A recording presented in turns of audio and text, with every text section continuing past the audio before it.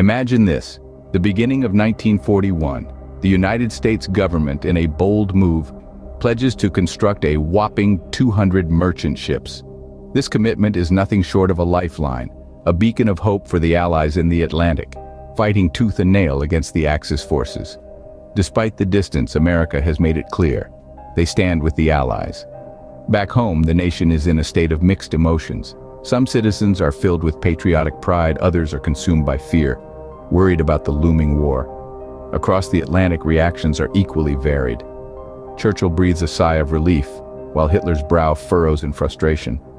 This ambitious endeavor doesn't come cheap. The cost is astronomical, a testament to the lengths the US is willing to go to support their allies. And with that, the tides of war began to stir, the world watching, holding its breath. Meanwhile, on January 15th, a fierce determination grips the Australian army as they initiate actions against the Italians in Libya. This wasn't a spur-of-the-moment decision. Rather, it was a calculated move born out of strategic necessity and a commitment to support the Allies. Australia wasn't alone in this endeavor. The British forces joined them, a testament to their shared resolve to push back against the Axis powers. The Australian deployment was no small feat. Thousands of soldiers, a formidable arsenal of weaponry, and a fleet of vehicles were dispatched to Libya, a clear sign of their intent to make a significant impact on the war. The decision to take a more aggressive stance was fueled by the escalating tension and the need to protect their interests. This was a pivotal moment, a show of strength and solidarity that would have far-reaching implications. With courage in their hearts, the Australians stood firm, ready to face whatever lay ahead. January 22nd, a date marked in history as the Allies seized Tobruk, a strategic port city crucial for North African operations. Tobruk, a Mediterranean jewel, was wrestled from the grip of Italian forces in a fierce battle. This strategic port was more than just a city, it was a lifeline. Sitting on the edge of Libya, Tobruk was the gateway to the vast desert terrain of North Africa. Its capture meant that the Allies had an open door to the heartland of the Axis powers in Africa. Imagine the vast stretches of desert, the unforgiving sun, the relentless winds. Now imagine controlling the key to traverse this harsh landscape. That's what Tobruk offered the Allies, a chance to shift the tide of the war. Tobruk, once a symbol of enemy power, now a beacon of hope for the Allies. This victory was not just a conquest of land, but a triumph of will and strategic brilliance. The same day, an astounding victory for the Allies, Operation Compass concludes with a staggering 130,000 Italian prisoners captured. This monumental end to Operation Compass left the Allies with a conundrum, where to place the influx of prisoners. Amidst logistical complexities, Mussolini grappled with the scale of the defeat, his once formidable forces now significantly diminished. In the face of such a massive defeat, the Axis powers could only reel in shock. A week later, high-level talks between the British and the Americans result in fortified ties between the nations. Key figures meet clandestinely, their identities shrouded in secrecy. This clandestine rendezvous, somewhere cloaked in the shadows of the world stage, these discussions held in secret would prove to be a turning point in the war. Yet, on that same day, British forces engaged Italian positions in Kenya. Under the leadership of General Cunningham and General Bergonzoli, each side, armed with strength and determination, clashed fiercely. As dust settled over the battlefield, the world waited, wondering what the next move would be. Picture this, February 1st, 1941. The United States, though not yet in the war, was gearing up for the inevitable. The U.S. Navy, an embodiment of American power and resilience, underwent a significant reorganization. It formed three independent fleets, each with its own strategic mission and leadership. The Atlantic Fleet, under the command of Admiral Ernest King, was a formidable force poised to protect the East Coast and the North Atlantic shipping lanes. Meanwhile, Admiral Husband Kimmel commanded the Pacific Fleet, safeguarding the West Coast and the Pacific Islands. The third, the Asia-Pacific Fleet, under Admiral Thomas Hart, was a strategic move to counter potential threats in the Far East. This reorganization wasn't just about ships and sailors. It was a chess move on the global board, a silent indication that the US was preparing for a war it was not yet officially part of. With this strategic move, the US was silently preparing for a war it was not yet officially part of. Fast forward to Valentine's Day, 1941, a day of love turned into a day of strategic military agreements. Bulgaria, a country strategically placed, found itself in the crosshairs of the world's most powerful armies. The situation was tense with the imminent invasion of Greece on the horizon. Germany, eager to secure its southern flank, turned its gaze to Bulgaria. Bulgaria, however, was not a willing participant in this game of chess. The nation was caught between a rock and a hard place, pressured by Germany to allow its soil to be used as a launchpad for the invasion. The number of German troops stationed in Bulgaria was substantial, with the country practically swarming with foreign military presence. This was no ordinary agreement. It was a decision made under duress, a decision that would forever alter the course of Bulgaria's history. This agreement marked a significant shift in the power dynamics of the region. On that very same Valentine's Day, thousands of miles away in Tripoli, Erwin Rommel's Africa Corps arrived. It was Hitler himself who dispatched Rommel, a move that hinted at his fears about Mussolini's ability to hold Africa independently. Rommel didn't come alone. He brought with him a force of seasoned soldiers and a vast array of equipment, ready to reinforce the faltering Italian forces. This move was a clear indication of Hitler's intentions in Africa. A few days later, from February 19th to 23rd, Allied authorities convened in Cairo. Amid the shadows of the pyramids, a grave decision was made. 100,000 British soldiers were to join the fight in Greece. They would be bolstering an existing force standing shoulder to shoulder with their Greek allies. The looming threat was clear and present. An invasion could break upon Greece's shores at any moment. This commitment was a clear signal of the Allies' determination to defend Greece at all costs. Picture this. It's March 5, 1941. The sun rises over the Egyptian shores as the first elements of British reinforcements board their vessels, bound for the Balkan front. This isn't just a simple change of station. No, this is a crucial tactical move in the grand chessboard of war. The Balkan front is a key battlefield, a gateway to the heart of Europe. The British forces, fueled by a sense of duty and a thirst for victory, set sail from the land of pharaohs. Their destination? A land embroiled in conflict, a region crying out for assistance. These brave men and women are the lifeblood of the Allied resistance in the Balkans. Their mission? to turn the tide of the war. The stakes are high, the tension palpable. As the sun sets, the British forces are en route, unaware of the challenges and battles that lay ahead. Just a few days later on March 9th, the Italians, determined and resolute, launch a new offensive in Greece. Seized by a burning desire to reclaim their lost territories, the Italian forces spring into action. The previous months had been tough, marked by a series of battles that saw the Italians losing ground to the Greeks. Now they were ready to turn the tables. Their new offensive was more than just a military operation. It was a statement of intent, a bold declaration that they were not yet out of the game. The Italians were fighting not just for territory, but also for pride and prestige. Their losses had been a blow to their morale, but they were ready to push back, to show their mettle. The Greek terrain was challenging, the odds were stacked against them, but the Italians were undeterred. They were ready for the challenge. The Italians, driven by a desire to regain their position, plunge headfirst into a new offensive, setting the stage for a fierce struggle. Across the Atlantic on March 11th, President Roosevelt takes a pen to paper, signing the Land Lease Act into law. This significant piece of legislation allowed the United States to militarily support its allies, even with delayed payments. This wasn't just about money, no. This was a pledge of commitment, a promise of solidarity in the face of an overwhelming enemy. Roosevelt's decision was a calculated move, a strategic maneuver, if you will.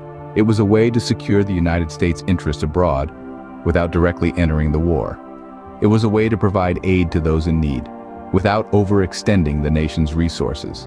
The Land Lease Act was more than just a piece of paper. It was a lifeline extended to nations under siege. It was the United States stepping up, showing that they were ready to support their allies in the fight against the Axis powers. With a single signature, the United States pledges its support, altering the dynamics of World War II. Fast forward to March 21st, in a bold move, Yugoslav Air Force personnel overthrow Prince Paul. This unexpected turn of events was fueled by a myriad of reasons, both internal and external. From the citizens' growing discontent to the mounting international pressure, the stage was ripe for change. The coup was orchestrated by the Yugoslav Air Force personnel, a group not just driven by their sense of patriotism, but also by their deep-seated dissatisfaction with the rule of Prince Paul. The prince, who held the reins of Yugoslavia, was perceived as a mere puppet of the Axis powers, a sentiment that sowed seeds of rebellion amongst the ranks. With Prince Paul ousted, the Air Force personnel installed a new leader, a man who they believed would put Yugoslavia's interests first. This man was none other than Dusan Simovic, a decorated army general known for his strategic acumen and strong leadership. The change in power, however, did not come without its challenges. The new regime was greeted with the colossal task of navigating the treacherous waters of World War II. The nation was caught in a tug of war between the Allies and the Axis, each vying to win over Yugoslavia to their side. Just four days after the coup, on March 25th, Prince Paul, in a desperate bid to regain power, offered his allegiance to the Axis by signing the Tripartite Pact. This was a move that sent shockwaves across the globe, further complicating the already turbulent political landscape. But the Yugoslavian government, now under the leadership of Simovic, was quick to counteract. It formally signed its support for the Axis powers, a move that was seen as a clear rejection of Prince Paul's desperate overture. However, as history has shown us time and again, in a world at war, even allegiances are fleeting, and every day brings a new challenge. In the days that followed, the Yugoslavian government would find itself grappling with a new threat, the wrath of a certain German leader who had decided to destroy Yugoslavia. But that, my friends, is a tale for another day. March 27th, the British forces push Italians to retreat in the Battle of Keren, while on the high seas, U.S. vessels capture 65 Axis-aligned ships. In the heart of Eritrea, the Battle of Keren rages on. The British forces, against all odds, push the Italians into a hard-fought retreat. The significance of this victory can't be overlooked. The British not only reclaim vital territory but also deal a blow to the Italian morale and their hold on East Africa. The Battle of Keren is a testament to the tenacity of the Allied forces. Despite being outmanned and outgunned, the British forces utilize their strategic advantage, making use of the rugged terrain to their benefit. This victory bears witness to the sheer determination and grit of the Allied forces, a beacon of hope in the grim backdrop of the war. While the ground battle unfolds in Eritrea, a different kind of warfare is taking place on the high seas. The United States Navy, in a daring move, captures 65 ships aligned with the Axis powers. This action goes beyond just disrupting the Axis supply lines. It sends a clear message to the world the United States is ready to take the fight to the Axis powers. The capture of these ships is a strategic masterstroke. It not only weakens the Axis powers, but also bolsters the Allied forces, providing them with much-needed resources. The impact of this action is felt far beyond the immediate gain of the ships. It boosts the morale of the Allied forces and sends ripples of concern through the Axis ranks. These two events, unfolding thousands of miles apart, are connected by a common thread, the unwavering resolve of the Allies. In the face of seemingly insurmountable odds, they fight back, pushing the Axis powers on the back foot. In the face of adversity, the Allies push back, gaining ground in Eritrea and seizing control on the seas. As March draws to a close, unrest in Yugoslavia prompts the Germans to plan an invasion. The seeds of this decision were sown on March 26th, when Hitler, in a meeting with his high-level officers, reportedly declared his intent to destroy Yugoslavia. The cause? A coup just days earlier had seen Prince Paul, an ally to the Axis, forcibly removed from power. The new ruler, Dusan Simovic, was quick to break Yugoslavia's commitment to the Axis powers, leaving Hitler with a new enemy in the Balkans. In response, the Germans swiftly drew up plans for an invasion, known as Directive Number 25. This was not a decision taken lightly. It was a strategic move aimed at securing Germany's southern flank and asserting dominance over the volatile region. As the month of March ends, a new threat looms over Yugoslavia, setting the stage for the next chapter of World War II. Picture this, the start of April 1941. Asmara, an Italian stronghold, crumbles under British might. Nestled in the highlands of Eritrea, Asmara was a jewel in the crown of the Italian Empire, a symbol of might and control. Its fall to the British forces was a significant blow to the Axis powers, marking a turning point in the East African campaign. Meanwhile, the night sky of Emden, a German port city, was lit up as six Wellington bombers flew overhead. These British aircraft, known for their resilience, carried a deadly payload targeted at the heart of the German naval infrastructure. The bombing of Emden was a daring operation, a strategic move designed to disrupt German maritime activities and weaken their naval strength. As the dust settled, the world braced for more. Little did they know, this was just the beginning. Meanwhile, a storm was brewing in Iraq. The British-friendly government was no more. The first 18 days of April 1941 were marked by a tumultuous internal unrest. The echoes of discord resonated across the nation, culminating in a dramatic overthrow of the pro-British government. No longer would the Union Jack fly high over the Iraqi skies. The winds of change ushered in a new regime, a government that looked towards the Axis powers for alignment. A subtle shift, yet one that would have far-reaching implications. The new government's decision was like a ripple in a pond, its effects spreading outwards, reaching the furthest corners of the globe. This alignment wasn't just a political maneuver, it was a statement, a statement that reverberated through the halls of power from London to Berlin, Washington to Tokyo. With this shift, the tides of war were about to turn dramatically. As Iraq shifted alliances, Operation Rheinübung was being planned under the watchful eyes of Grand Admiral Raeder. This was not a simple operation, but a meticulously designed strategy, a stroke of genius that called for direct hit-and-run engagements with British merchant shipping across the vast expanse of the Atlantic. Operation Rheinübung was a daring plan, a game of cat and mouse intended to disrupt the lifeline of the British Empire. The German Navy, under Raeder's command, was tasked with the mission to strike at the heart of the British merchant fleet. The goal was simple, sink the ships, disrupt the supplies, and weaken the British war effort. Meanwhile, over in North Africa, General Erwin Rommel was on the move. Known as the Desert Fox for his cunning strategies and unpredictable tactics, Rommel was advancing at a pace that was both relentless and surprising. His target, Agedabia, a region of strategic importance. Why Agedabia, you may ask? Well, Agedabia held a significant position, it was a junction point, a crossroads that provided access to various key locations in North Africa. If Rommel could secure Agedabia, he could control the flow of supplies and reinforcements, giving him a significant advantage over the British. Rommel's forces reached Agedabia, and the Desert Fox did not disappoint. His strategy was bold, his execution flawless. He cut through the defenses like a hot knife through butter, securing the region and establishing a stronghold that would prove vital in the battles to come. Operation Rheinübung and Rommel's advance in Agedabia were two different strategies on two different fronts. Yet, they were part of the same war, the same grand plan to disrupt, to destabilize, and to defeat. With every move, the stakes were rising higher. Come April 6th, Operation Marita was set into motion, a dual invasion that would shake the very foundations of Greece and Yugoslavia. A grand total of 24 divisions, including over 1,200 tanks, were involved in this massive military movement. The landscapes of Greece and Yugoslavia were about to be drastically altered by the relentless march of German forces.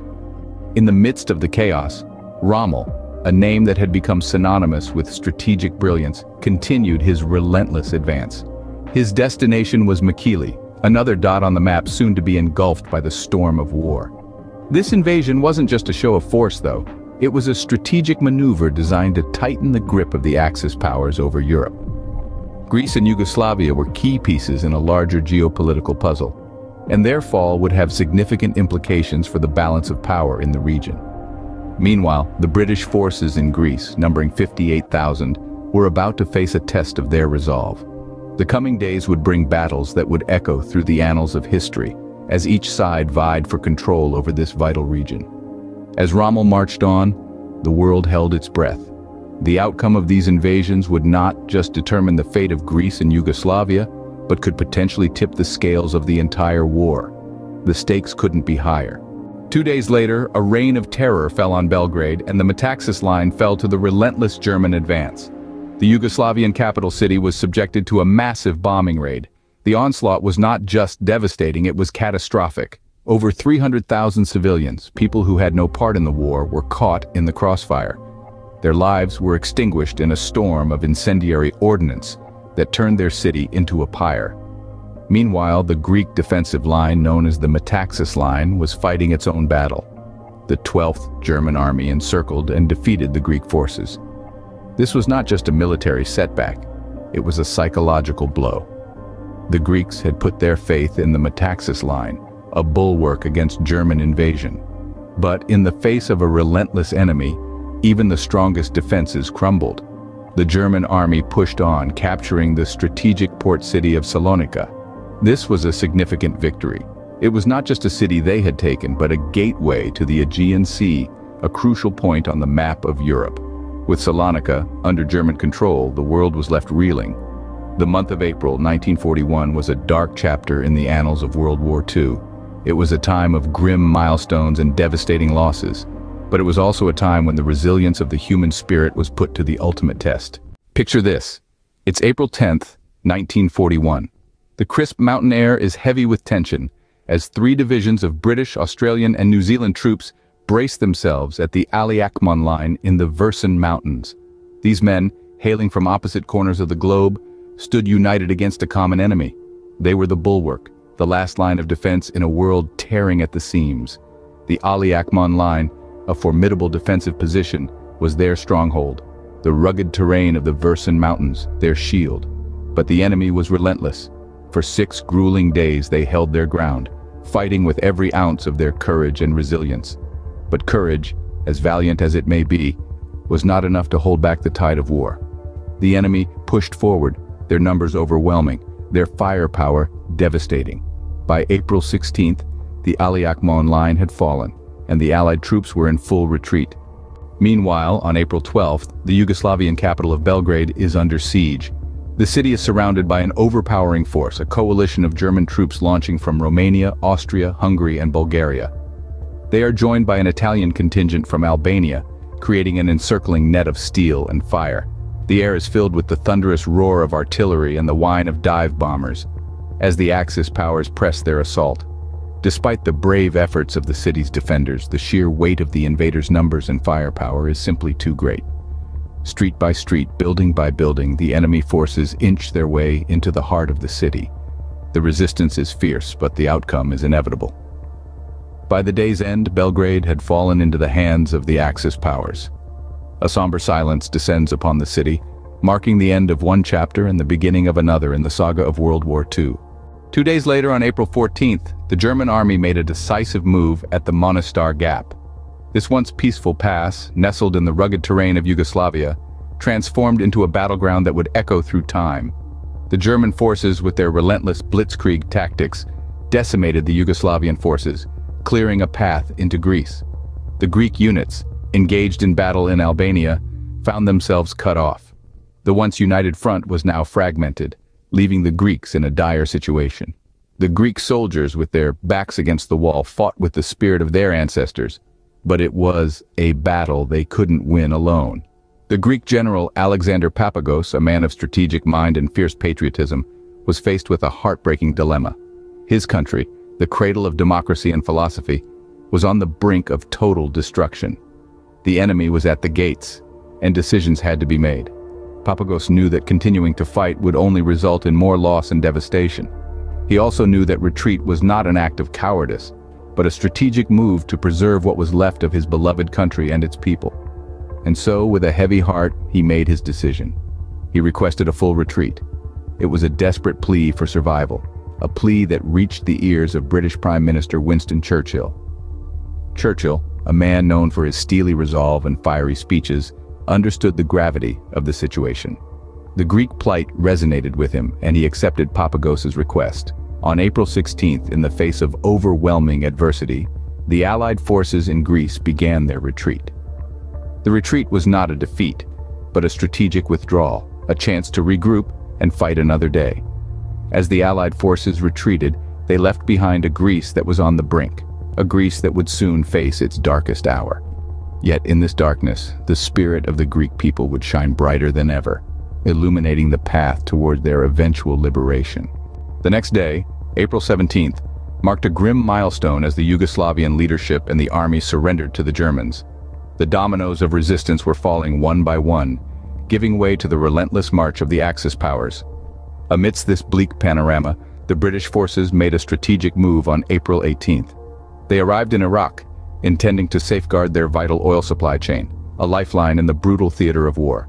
Just two days later, another blow was dealt. The Greek army, having fought valiantly, found themselves cornered. The magnitude of their situation was daunting and the inevitable happened. On April 20th, Greece surrendered to the Germans and Italians. The olive branches of this ancient land, once symbols of peace, were now overshadowed by the ominous symbols of the Axis powers. By April 20th, Greece had surrendered to the Axis powers, marking a dark chapter in the annals of history. On April 25th, Hitler issued Führer Directive Number 28 calling for the invasion of the island of Crete. This marked the birth of Operation Mercury, a daring airborne invasion orchestrated by General Kurt Student. It was a bold move, a gamble of sorts, as the Germans sought to seize control of the Mediterranean and further tighten their grip on Europe. Just a day later, German airborne elements launched an audacious attempt to capture the bridge over the Corinth Canal. This was a strategic move, designed to encircle the retreating Allies. However, the bridge was lost in the attack, and the Allies had already moved on, evading the German trap. Meanwhile, in the shadows, Allied codebreakers were working tirelessly. Their efforts bore fruit when they intercepted word of the impending German invasion of Crete. This crucial piece of intelligence was a glimmer of hope in the gathering storm, a chance to prepare and perhaps turn the tide of the battle. On April 27th, Axis forces officially occupied Athens, signaling the end of Greek resistance. The once vibrant city fell silent under the oppressive weight of the Axis occupation. Yet, even as the Axis forces reveled in their victory, the Allies were not idle. Operation Demon was activated between April 27th and 30. This was a large-scale evacuation, covering the retreat of some 51,000 Allied troops from southern Greece via the Royal Navy. It was a complex and dangerous operation fraught with risk, but it was a necessary gamble to preserve the strength of the Allied forces. As the month of April drew to a close, a new leader took command of the Allied forces based on Crete. Major General Bernard Freyberg, a seasoned and respected officer, assumed command on April 30th. His arrival marked a new chapter in the unfolding drama of World War II and set the stage for the upcoming Battle of Crete. By April 30th, Major General Bernard Freyberg had assumed command of the Allied forces based on Crete, setting the stage for the upcoming Battle of Crete. A battle that would test the resolve of the Allies and the mettle of the Axis, and whose reverberations would echo through the annals of history. Picture this, it's May 9, 1941. The seas are rough, the air is tense, HMS Bulldog is on a mission. The gray waters of the North Atlantic churn beneath the sturdy hull of the British destroyer. She's on a mission of paramount importance, a mission that could potentially change the course of World War II. At the heart of this operation is the capture of the German submarine U-110. Now this isn't just any submarine. Hidden within its steel body lies a treasure more valuable than gold or diamonds. The Enigma code machine. This little device with its complex array of rotors and plugs holds the key to the Germans' encrypted communications. If the British can get their hands on it, they could decipher the enemy's plans. It's a game of high stakes and even higher tensions. With unwavering determination, HMS Bulldog and her crew managed to capture the U-110. As they board the submarine, the weight of their task settles heavily on their shoulders.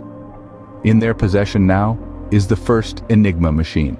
This is a monumental achievement, one that could potentially tip the scales in favor of the Allies. Back on British soil, the codebreakers set to work, their minds whirring as they try to crack the complex codes. The task is Herculean, but the potential rewards are immense.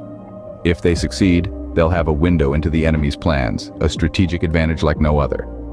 Little did they know this was just the beginning of a series of significant events that would unfold in May 1941. Fast forward to May 15th, our scene shifts to the sandy terrains of North Africa. Here, the British were gearing up to launch Operation Brevity, a tactical maneuver aimed at dislodging Rommel's dug-in forces. As the sun rose, the British forces, armed with determination and courage, rolled out, their eyes set on the horizon. However, the desert was a harsh mistress. The unforgiving heat and the shifting sands were as formidable as the enemy they were poised to face. Rommel, a seasoned desert fox, had anticipated this move. His forces were prepared, dug in, and ready to repel any assault that came their way. The British forces pushed on, their tanks kicking up clouds of dust. But their progress was slow. The enemy was well entrenched, and the territorial advantages were all in Rommel's favor. The British forces met with stiff resistance at every turn. Despite their best efforts, the British could only make little headway. The battle was far from over. They knew the war was a marathon, not a sprint. The desert was yet to reveal its final outcome. Now imagine the date is May 19th. The RAF fighters are being relocated. A sense of anticipation hangs in the air. The year is 1941. A strategic decision is made by the Allies. RAF fighters, the backbone of the British air defense, are being relocated. Destination? Egypt. Why Egypt, you ask? Well, it's a tactical move, a move to ensure their safety away from the escalating conflict. Meanwhile, the code breakers, the unsung heroes of the war, are hard at work. They intercept a piece of information that sends ripples through the Allied ranks. It's a word, a code name, Operation Mercury. Operation Mercury, as they would soon learn, was the German plan for an airborne invasion of the island of Crete.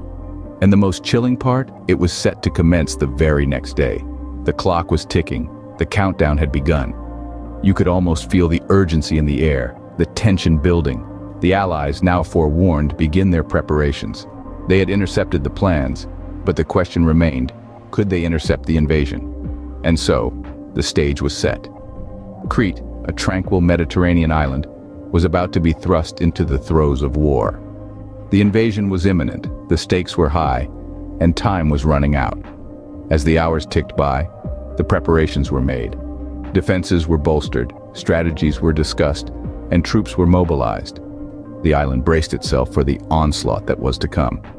Each passing moment brought them closer to the dawn of a new day, a day that would be marked by the echoes of war.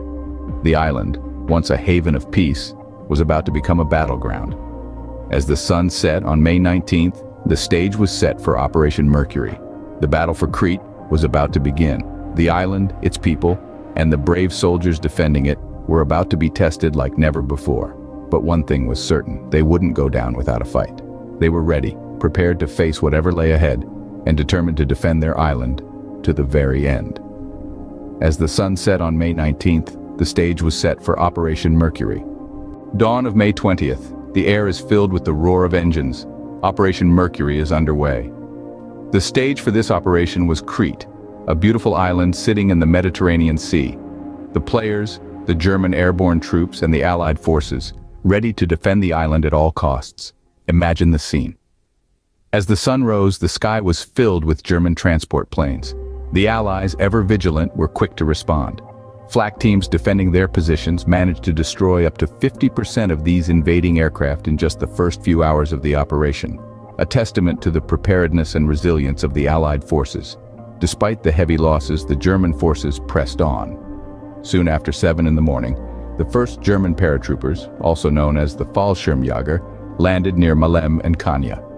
They were followed by a second wave, taking off from Greece towards drop zones in Crete between 1.30 and 2 in the afternoon. However, this second wave met the same fate as the first, their in-air losses nearly equaling those of their predecessors, thanks to the stellar Allied flak defenses on Crete.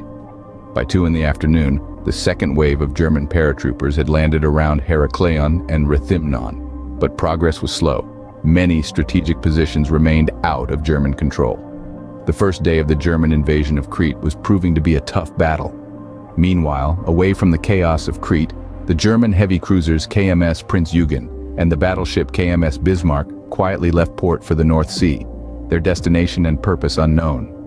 A subtle reminder that war was not just raging in Crete, but across the globe. As the day ended, the outcome of these events was still uncertain. The world waited, holding its breath for what was to come. Imagine this. It's May 21, 1941. A German offensive is underway against Heraklion. As the sun rises, the German army is pushing towards Heraklion, a strategic point on the island of Crete. But they're not met with open arms. No, they're met with the fierce resistance of 8,000 dug-in Allied soldiers. These brave souls, entrenched in their positions, are ready to defend their ground at all costs.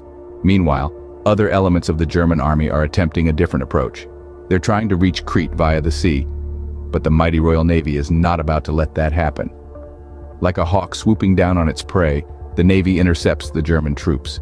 The sea turns into a chaotic battleground, the air filled with the deafening sounds of gunfire and explosions.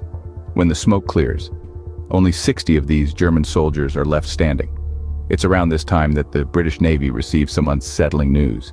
The German warship activity in the North Sea is increasing. This is not a good sign. It's clear that the Germans are planning something big, something that could tip the scales of the war in their favor. In response to this threat, the British Navy calls two of its most formidable vessels to action, the aircraft carrier HMS Victorious and the battlecruiser HMS Repulse. These titanic ships, under the command of Admiral Sir John Tovey, are sent to bolster the Royal Navy's presence in the North Sea.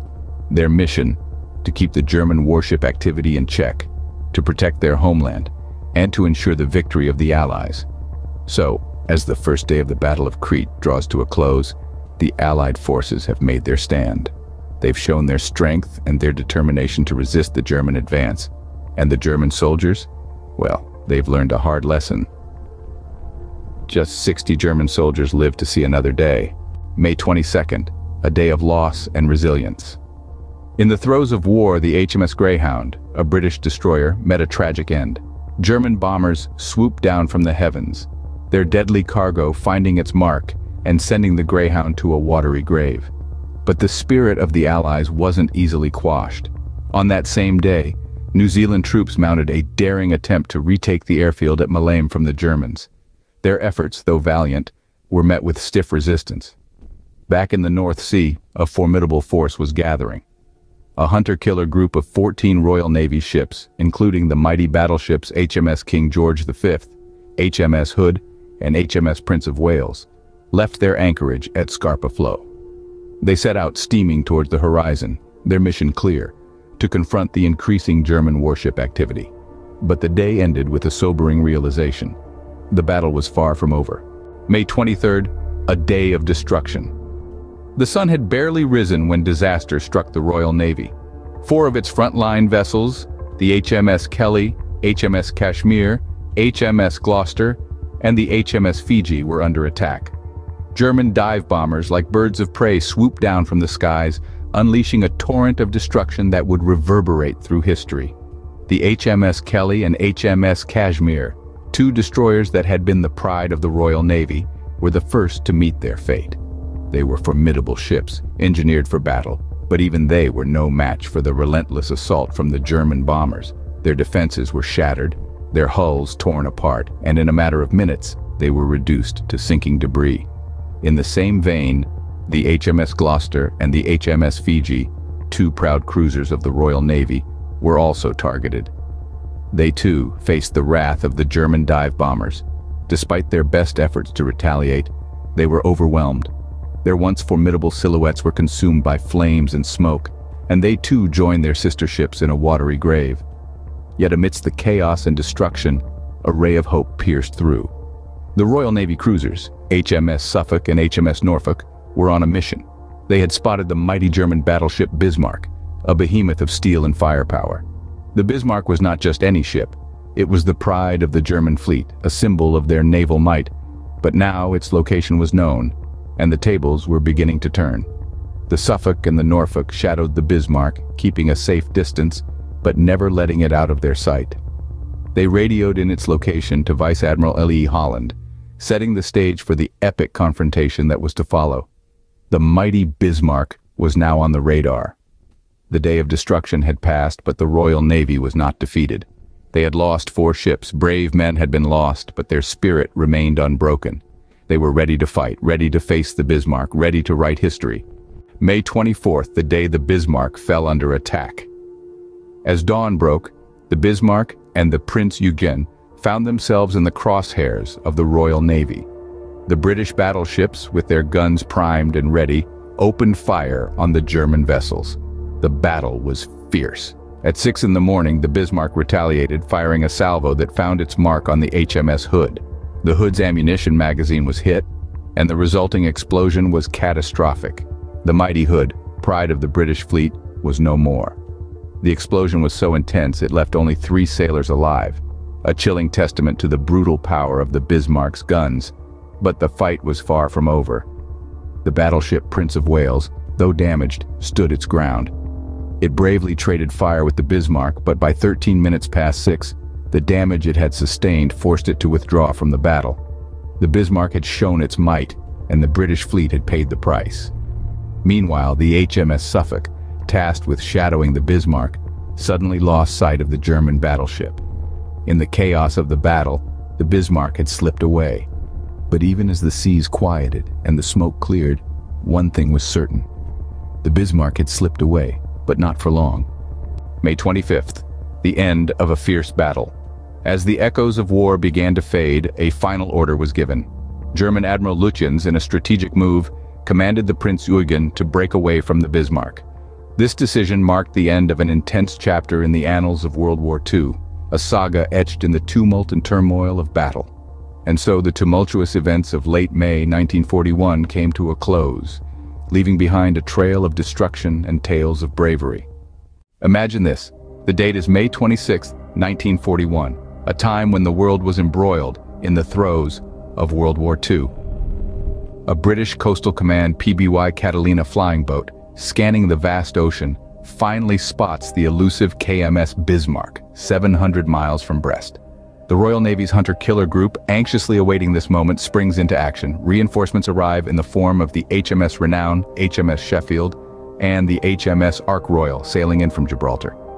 As the day wears on, tension mounts. At 10 minutes to 3 in the afternoon, an attack group from the HMS Ark Royal gets the green light, their weapon of choice? Fairey Swordfish biplane torpedo bombers. Each aircraft armed with a lethal payload takes to the skies, their target, the Bismarck. The bombers descend upon the German battleship, their engines roaring. Between the hours of 8.47 and 9.25 in the evening, the Bismarck takes two direct torpedo hits the once invincible battleship shudders under the impact. In a stroke of luck for the British, the second torpedo finds its mark on the stern section of the Bismarck. The impact is catastrophic. The rudder jams to one side, sending the ship into an uncontrolled turn. The mighty Bismarck, once the pride of the German Navy, is now a wounded beast spiraling out of control. The Royal Navy seizes the moment. Their ships, armed with long-range guns, open fire on the crippled Bismarck. The once formidable Bismarck, now rendered helpless, was at the mercy of the Royal Navy's guns. The hunt for Bismarck had taken a decisive turn. The hunter was now the hunted. The stage was set for a battle that would go down in the annals of naval warfare. The next day, May 27, 1941, dawned with the promise of a decisive battle. Over in Greece, the German army was making strides. They successfully seized Heraklion and its strategically important airfield. Meanwhile, the Allied forces found themselves in retreat, pulling back to defensive positions at Galatas. Simultaneously, out in the Atlantic, the Royal Navy was closing in on its prey. The German battleship Bismarck. The once mighty vessel was now crippled, her rudder jammed to one side by a lucky torpedo hit from the day before. This forced the ship into an uncontrolled turn and left her vulnerable to the approaching British warships. At 8.47 a.m., the Bismarck began to feel the full force of the Royal Navy's assault. She was raked from front to rear by the guns of the British warships. The battleships HMS King George V and HMS Rodney led the charge, unleashing their short-range armament on the beleaguered German ship. Despite the ferocity of the attack, the Bismarck held out for over an hour, but by 10 a.m., her guns fell silent. The German battleship was critically damaged, taking on water and burning. As the minutes ticked by, the situation on board the Bismarck grew increasingly dire. The damage was too severe, and the ship could not be saved. At 10.36 a.m., the once formidable Bismarck made her final plunge into the blue depths of the Atlantic. The sinking of the Bismarck marked a significant moment in the Battle of the Atlantic. Of the over 2,000 men who had been aboard, only 115 survived.